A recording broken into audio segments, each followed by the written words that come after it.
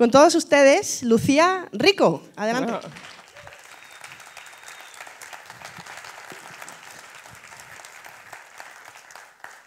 Os iba a decir, parad ya, porque es que si no aquí no llegamos. ¿eh?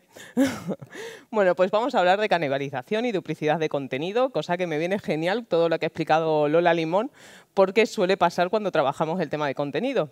Antes de nada me voy a presentar, me llamo Lucía Rico, eh, soy divulgadora SEO de luciayelseo.com. Eh, ¿Qué más soy? Soy muchas cosas. Embajadora de marca de SiteGround, que es el mejor hosting especializado en WordPress. También recientemente eh, soy SEO y Social Media Manager en Product Hackers y soy una enrea de la vida en general. Así que vamos a hablar eh, para arriba. Ah, aquí, vale, gracias. Canibalización y duplicidad. Hmm. ¿Alguien ha sufrido el tema de la canibalización? ¿O alguien ha sufrido el tema de la duplicidad de contenido? Pues estáis en el sitio correcto porque vamos a hablar de este tema. Pero antes, vamos a hacer un test. ¿Os parece bien? Bien. Canibalización o duplicidad.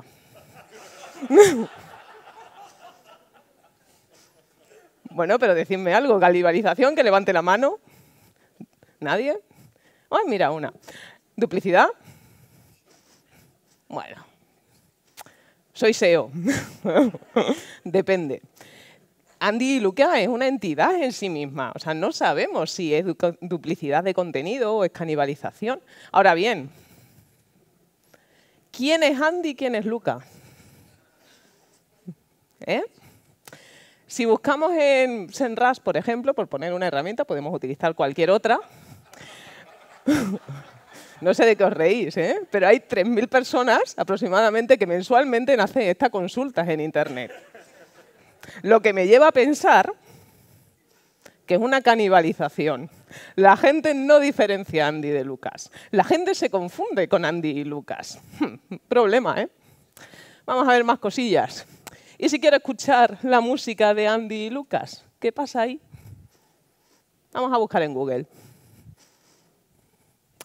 Pues nos encontramos que aparece YouTube, Spotify, YouTube Music, Apple Music, Deezer, ¿Canibalización o duplicidad?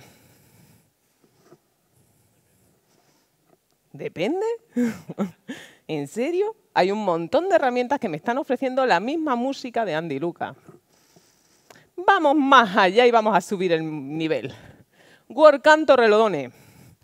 Canibalización o duplicidad. Canibalización. Aparecen dos URLs, una de 2023, otra de comprar las entradas. Algo me dice que la intención de búsqueda no queda clara. ¿Cómo sé? Yo no quiero meterme en 2023, no quiero comprar las entradas, quiero ver qué se pasa ahí en la WordCamp Torrelodones. Es una canibalización. Vamos a hacer otra prueba y es la última. He cogido una frase de mis textos legales, la he metido en Google y lo que pasó a continuación les sorprenderá. ¿Canibalización o duplicidad? Es fácil. Es, una duplicidad. Entonces vamos a centrarnos en las canibalizaciones, que para mí es donde está la mandanga. Y es que la canibalización no es otra cosa que competir contigo mismo. Hay un montón o varias URLs que están compitiendo por la misma palabra clave, tienen la misma estructura de contenido, pueden atacar al mismo público, tener la misma oferta al final Google no entiende que cuál es la buena, eh, unas veces las pone más arriba, otras más para abajo, el usuario tampoco queda claro dónde tiene que hacer clic. Y nos damos cuenta que puede que tenga la misma palabra clave o no, puede ser que tenga el mismo contenido o no. Entonces hay varios tipos de canibalizaciones. Una de ellas, la más habitual, es la canibalización de palabras clave, que es cuando están varias URLs compitiendo por las mismas palabras clave o tienen el la misma estructura de contenido. Os voy a poner un caso muy curioso de una persona que es que no tiene ni puta idea de lo que está hablando. Perdón, esto puede ser que no vaya a Work TV. y es que si buscas cómo hacer un keyword research, te encuentras con una tal Lucía y el SEO, que seguro que no tiene ni puñetera idea de qué va el tema, tiene una guía definitiva para aprender a hacer un keyword research y luego tenemos un keyword research cómo priorizar palabras clave. Pero es que si nos fijamos en la URL de esa guía definitiva, no es un post de un tutorial, es una subcategoría de, que se llama Keyword Research dentro de una categoría SEO. O sea, no es ni un post importante. Y abajo es un post satélite. El cluster que hablaba Lola Limón, aquí no, aquí, aquí no lo entiende bien. Ay, esta gente que se hace llamar. Vamos a profundizar en el tema, nos metemos en, en, en Senras, en Ser Console, y vamos a hacer un filtrado con la palabra clave que hemos detectado que puede estar canibalizando. Con ese filtrado de Keyword Research nos damos cuenta que no hay una ni dos, hay cuatro URLs que están posiblemente canibalizando por ese término. ¿Cómo nos damos cuenta? ¿Veis eso de ahí en rojo? Porque si no lo veis, hay que ir al oculista, probablemente seáis daltónicos. Tenemos el Keyword Research con la subcategoría con 700 y pico impresiones, tenemos el post que quiero posicionar con 500 impresiones menos y luego algo residual, ¿vale? Esto ya nos da pistas. El número de impresiones, esa variación de impresiones, nos da eh, indicaciones de que puede ser una canibalización. Pero si nos metemos en las keywords que posiciona la subcategoría, es maravilloso cómo hacer un keyword research, keyword research SEO, plantilla, keyword research. Esto pinta mal. Entonces, esto nos lleva a otra cosa, que es que la canibalización de, por palabras clave puede derivar en otro tipo de canibalización, que es la canibalización por intención de búsqueda. Y la canibalización de intención de búsqueda se resuelve de una manera súper sencilla, que es cada URL tiene que ir asociada a una intención de búsqueda, una URL, un objetivo. Hay cuatro tipos de intenciones de búsqueda. No me voy a dilatar en esto porque eh, ya lo podéis ver en la WordCamp de Sevilla en el que hablé profundamente sobre este tema. Hay informativas, navegacionales, como puede ser WordCamp Torrelodones, visitar en persona o transaccionales. Y esto en la teoría está muy bien, pero ¿qué pasa? Que Google tiene intenciones de búsqueda híbridas. Qué divertido. ¿Y qué es una intención de búsqueda híbrida? Pues una intención de búsqueda híbrida es cuando Google no interpreta bien qué es lo que quiere em, encontrar el usuario. En este caso, puede ser que si busco muebles de cocina, me aparezca anuncios, me aparezca un local pack, me aparezca artículos de blog, me aparezca categorías de productos.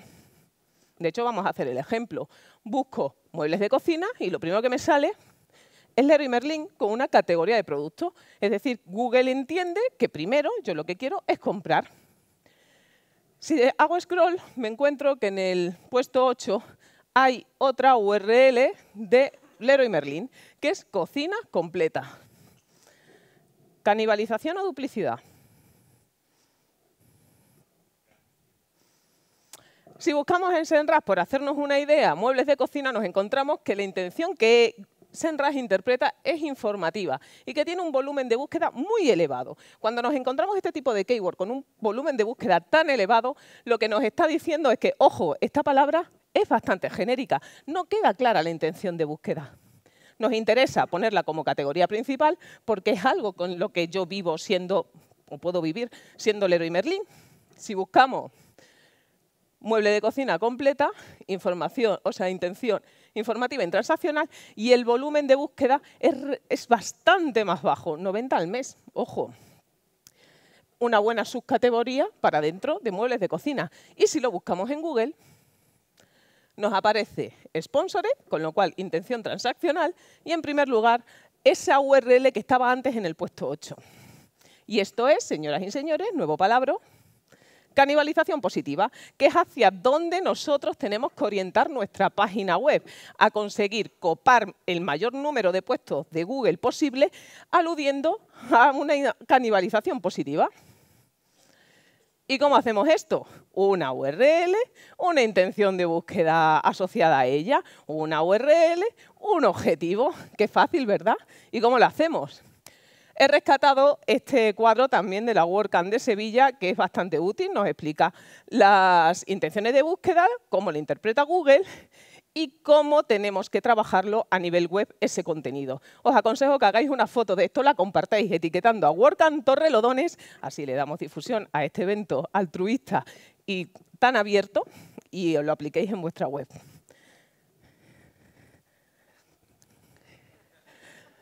¿Ya? Venga, seguimos. Hay canibalizaciones positivas, no como está tal Lucia y eso, que no tiene ni pajolera idea y tiene canibalizando cuatro URLs. Más cosas. La canibalización de contenido. ¿Esto puede estar relacionado con la intención de búsqueda o con la palabra clave? No, porque la canibalización de contenido puede ser perfectamente mi canibalización favorita. Y es que la canibalización de contenido no comparte URL, o sea, no comparte URL, no comparte palabra clave y tampoco comparte estructura de contenido, pero el contenido es el mismo. ¿Y esto dónde pasa? Agencias de viaje o Amazon. ¿Por qué? Porque genera URLs dinámicas en función de la consulta que se haga en Google. Verbigracia o ejemplo. Buscamos lámparas de noche en Amazon en Google y nos encontramos esta maravillosa muestra de Amazon. Las imágenes son diferentes, pero muy parecidas. Pero si tú te metes en cada una de esas URLs, el contenido es igual, pero ojo, cuidado, analicemos mm, las URLs de cada una. En primer lugar, nos encontramos parámetros de búsqueda interna. Ojo, no es una URL de una categoría ni una subcategoría, es un parámetro. En la segunda, están filtrados, esos filtros que aparecen en el PC Amazon en la columna izquierda, están etiquetados para ese tipo de lámpara. Y en tercer lugar nos encontramos el de categoría. ¿Qué tal? ¿Cómo se os queda el ojo? Interesante. Así que vamos a ver cómo podemos identificar estas canibalizaciones. Ya hemos visto algunas maneras a través de Ser Console, haciendo el filtrado por eh, palabra clave, pero otra forma muy sencilla es a través del comando site. ¿Sabéis lo que es el comando site? Yo os lo voy a refrescar de todas formas, por si acaso. El comando site es poner site dos puntos en Google, tu dominio y la palabra clave con la que tú consideras que puedes estar canibalizando, en este caso, Keyword Research. ¿Y qué nos aparece aquí? ¿Os suenan estos títulos? Son los mismos que hemos sacado en Ser Console. Así que os podría dar un listado infinito de herramientas que podéis utilizar para detectar canibalizaciones, pero es que estas dos son gratis. Ser Console y Google es gratis, así que y nos da los mismos datos. Más formas de detectar. Ya hemos detectado las de palabra clave y las de contenido. Para detectar las URLs de, que canibalizan por contenido, vamos a utilizar también Ser Console. ¿Cómo? Utilizando una regex, una expresión regular que son una especie como de código que nos dice todas las variaciones que esa palabra clave queremos encontrar. Es un código tal que así. Hacemos un filtrado por consulta y hay una opción que es de regex y metemos todas las opciones de palabras clave, keyword research, priorización, etc, etc. ¿Sabéis regex? Exacto, porque os iba a decir, podríamos hacerle caso a Fernando Tellado y decirte, aprende, pero tío, Fernando, podemos utilizar el chat GPT para esto, ¿no?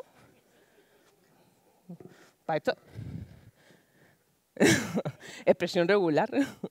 Luego lo vemos fuera, Fernando. O me lo preguntas al final de las preguntas que te gustaba a ti darme cañita. bueno, pero también podemos decir que hay métricas que nos indican que hay canibalizaciones dentro de nuestra página web, como el cambio en los CTR, bajadas y alteraciones bruscas en los rankings, eh, bajada de tráfico, la profundidad del contenido, el EAT que vimos el año pasado. ¿Os acordáis del EAT? Bueno, pues ese tipo de cosas nos dan métricas interesantes sobre pistas con las que canibalizamos. Una vez que hemos identificado nuestras URLs que canibalizan, ¿qué hacemos? Las arreglamos, ¿no? ¿Sí? ¿No? ¿Las dejamos como están? Bueno, yo las arreglo. ¿Y cómo las podemos arreglar? Pues lo primero es como, bueno, siendo buenos máquinas, es identificando las URLs que están. Y eso ya lo hemos visto, ser console, comando SAI, ese tipo de cosas. Y después podemos hacer varias cosas, pero principalmente, y una de las más normalizadas, es la de reunificar el contenido. ¿Cómo? Ya os lo he explicado muchas veces. Una URL, una intención de búsqueda. Unimos todo el contenido, le damos profundidad. ¿Qué pasa con ese contenido que ya hemos unificado con otro y una, esa URL no, no la vamos a utilizar más? Redirección 301. Pero ojo, no siempre, porque si estamos hablando en un caso como Amazon, una web dinámica, nos interesa tener más una canónica, que sé que a esto a Fernando le va a gustar el detalle, ¿verdad? porque me lo has preguntado. además, además eh, tenemos que tener en cuenta otras cosas que hacen transferencia semántica de autoridad, como pueden ser los, enlazados, los enlaces internos y el anchor text que utilizamos en ese enlazado interno. Con lo cual, no, no se trata solo de unificar el contenido, tenemos que unificarlo, redirigirlo, modificar los anchor text de los enlaces internos y externos y eh, corregir todo para evitar errores 404 y sobre todo hacer seguimiento. Al principio hará una pequeña bajada así que dirá, ay madre, estoy perdiendo posicionamiento, lo tenía que haber dejado como está. No, es normal. Se trata, en definitiva, de hacer un único contenido que lo gobiernes a todo, pero todo, todo no, solo las URLs que canibalizan. Más cositas. También podemos utilizar de una manera mucho más cómoda, no sabemos qué hacer.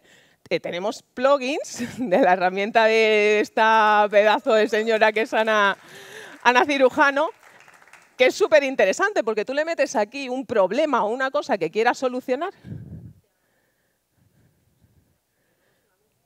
Ah, no, no, no, no es un anuncio. O sea, yo la, la uso. De hecho, hace nada me salió un compañero SEO que preguntaba sobre un problema en, en Twitter de qué plugin selecciona no sé qué y le mandé aquí porque me parece súper útil. Y es que tú metes el problema que tienes o lo que quieras solucionar y mediante inteligencia artificial te saca un listado de plugins que pueden ser relevantes para corregir ese problema si no te quieres meter en más andancia personalmente recomiendo mejor hacer un análisis y demás, pero esta es una opción cómoda.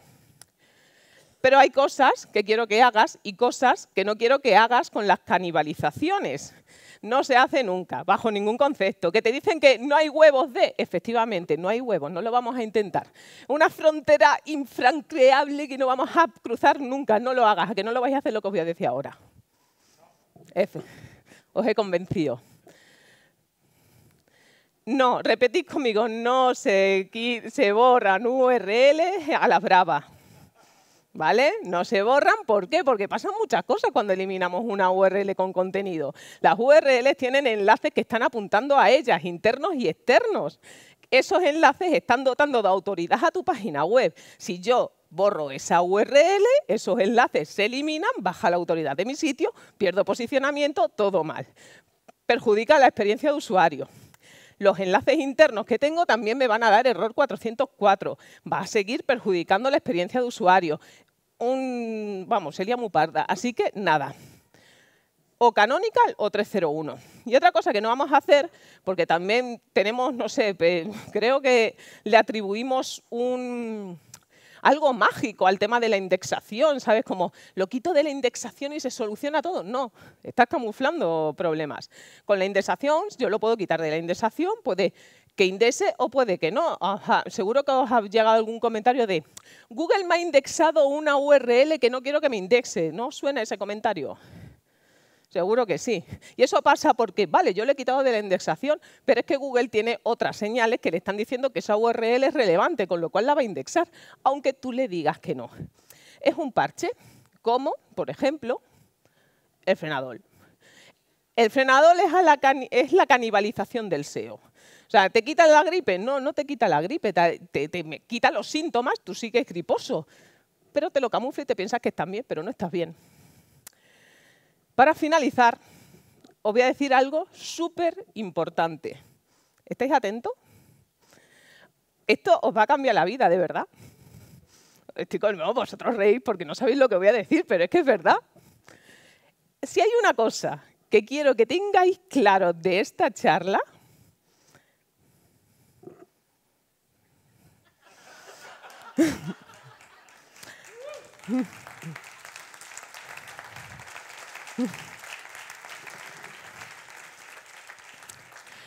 Andy es el de los pendientes. Andy es una URL con intención de búsqueda asociada. Andy es una URL con un objetivo específico.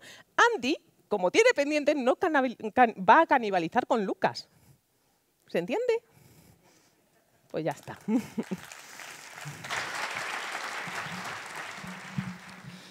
Hola Lucía, eh, muchas gracias por la ponencia. Un la, placer. La pregunta te la tenía que hacer yo. Obviamente, José.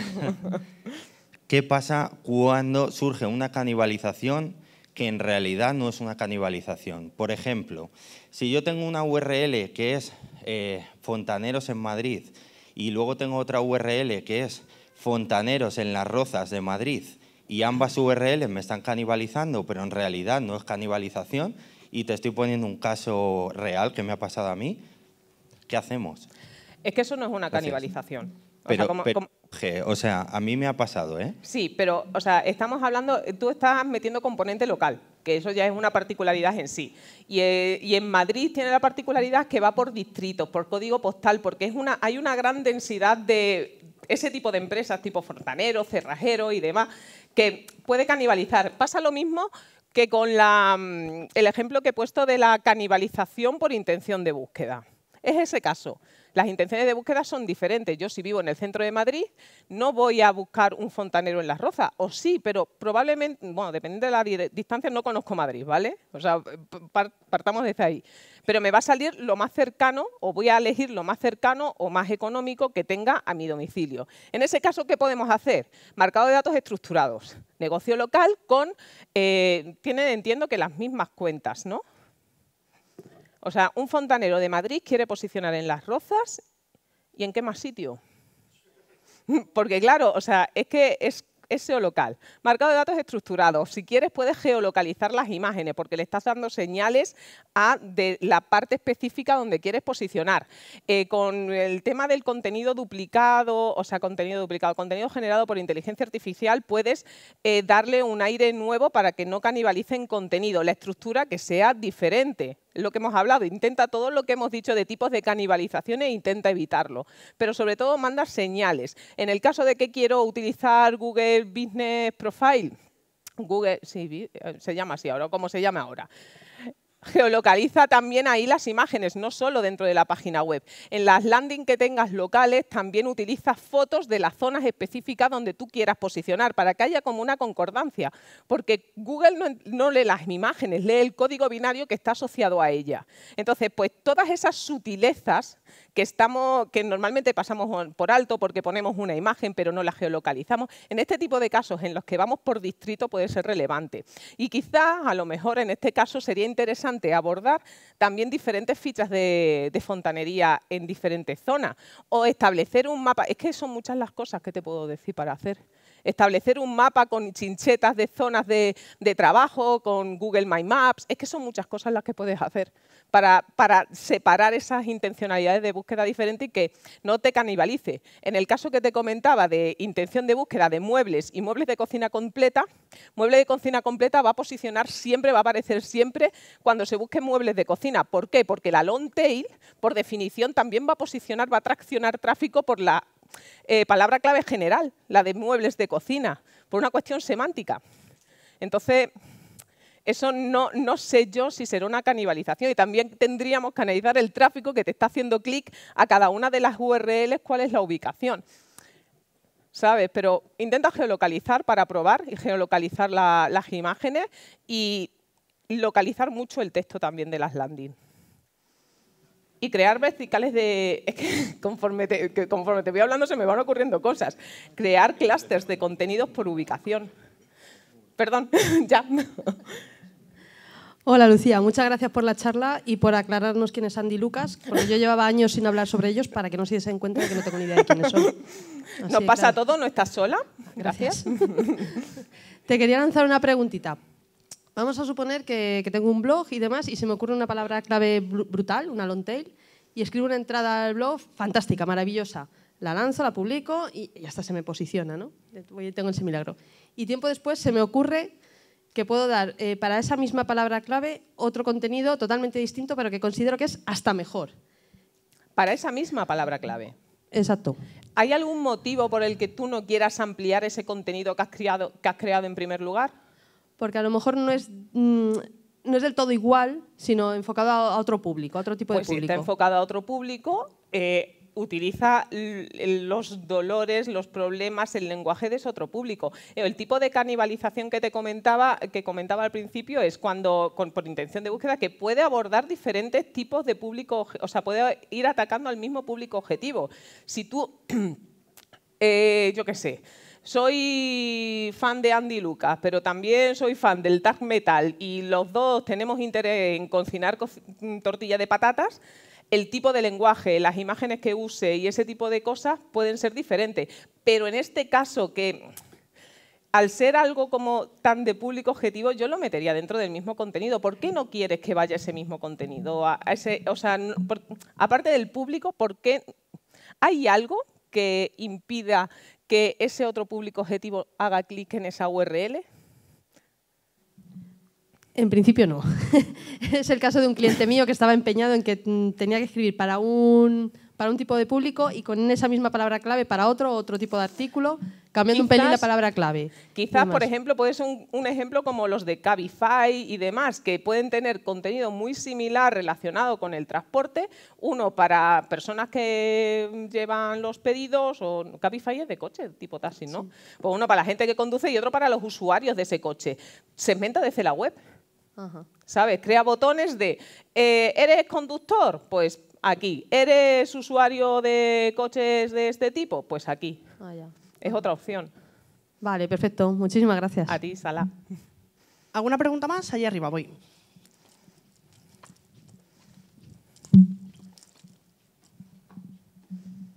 Bueno, lo primero agradecerte la charla, Lucía. A ti. Eh, ya me cambié de la foto de Twitter, ¿eh?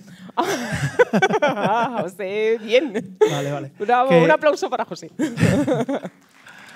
Eh, nada, comentarte. Eh, hablando sobre el tema este semántico, ¿no? Sí. La verdad que es un mundo que me gusta bastante. Es que mola. yo veo muchas. Las páginas del gobierno son las primeras en liar al personal en eso, ¿no? Hmm. Entonces, existen muchos tipos de trámites que se solapan.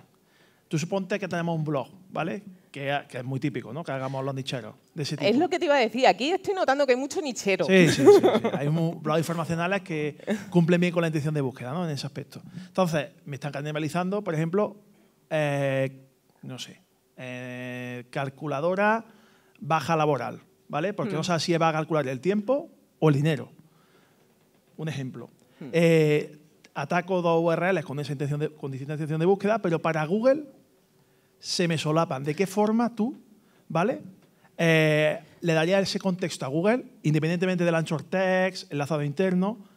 Te estoy preguntando un poquito más, ¿eh? ¿Por eh, qué tienen que estar en URLs diferentes? Sí, efectivamente, claro, no tiene que ver eh, el tiempo que está de baja con la remuneración. Entonces la intención de búsqueda es distinta. ¿Estamos seguros de que la intención de búsqueda es distinta? O sea, yo como usuario, si quiero calcular una baja laboral, ¿qué, es lo que quiero encontrar? Pues una, de dos, documentación por un lado puede ser y por otra puede ser eh, dinero, o sea, que te calcule dinero. Intención de búsqueda es distinta. Una cosa es el. pero eh, claro, es que te he entendido que era una calculadora de tiempo y otra calculadora. Claro, claro, puede ser calculadora, pero en la calculadora de tiempo tú das documentación también. ¿A dónde voy? Que si no, te voy a decir el nicho al final. Eh, no sacar. Pues ya que estamos. Claro. el tema está en que ese anchor text, que yo voy dándole contexto a una URL, ¿no? Con estructura así, lo, ya sabemos cómo va un poco. ¿Tú de qué forma, digamos, potenciarías eso, independientemente del contenido y el enlazado interno? Digo on page, si puede ser. Si es calculadora, o sea, vamos a ver, eh, cuando yo quiero calcular una baja laboral, yo quiero saberlo todo. Quiero saber cuánto dinero voy a cobrar y cuánto tiempo voy a tener cobrando, estar cobrando ese dinero. Con lo cual, si es una calculadora de tiempo y de dinero, yo unificaría ese contenido. Y el diferente sería la documentación que necesito presentar para, eh, para solicitar la baja laboral. Yo lo haría así. A lo mejor eh, haría el tema de, mm, yo qué sé, pues casuísticas específicas para eh, tipos de baja. Porque a lo mejor tengo una baja por problemas de salud mental, o a lo mejor tengo una baja física, o a lo mejor por sectores también. No sé, eh, yo lo enfocaría más de esa manera. Es que más no puedes hacer. No sé si... si... no contratas una consultoría de Lucía y fantástico te lo eh, ¿Alguna pregunta más? echamos un rato sin cobrar. Sí, ¿eh? sin acritud, ¿eh? era por... o sea, animaos a preguntar a Lucía y aprovechad.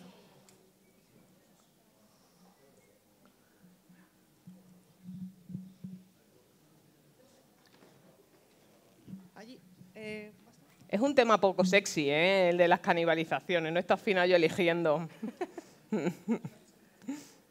Hola, buenas. Yo quería preguntar eh, qué pasa si tenemos más de un sitemap y si eso afecta a la web.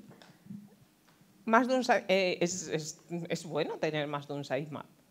O sea, no, no, repercute en ningún aspecto para la indexación. O sea, teniendo en cuenta que tienen tamaños limitados y número de URLs, te sirve para asegurarte que no te pasas en tamaño y además para detectar posibles errores que pudieran darse dentro de tu página web. No veo el inconveniente de haber varios sitemap. O sea, ¿no contaría como un duplicado? Como una... No, o sea, a ver, el sitemap es un archivo que se hace para los rastreadores de Google, para que tengan un acceso, un acceso más fácil a todas aquellas URLs que tienen valor SEO y que queremos posicionar con lo cual mm, no, no afecta, o sea, es necesario que tengas un sitemap, es recomendable. Y si tiene, o sea, y entiendo, eh, un sitemap o varios, porque puedes tener un sitemap de vídeo, un, un sitemap de página, un sitemap de ficha de producto, otro del blog, otro de categorías si las estás trabajando a nivel SEO. O sea, no, no hay inconveniente, al contrario, bien.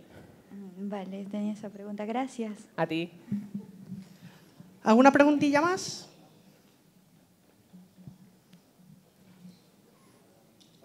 ¿Nada de Andy Lucas? ¿No queréis saber nada de, Andy Lucas?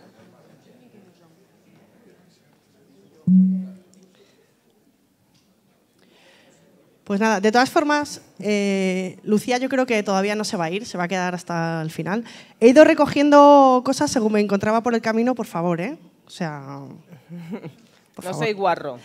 Lucía, muchísimas gracias. Un abrazo.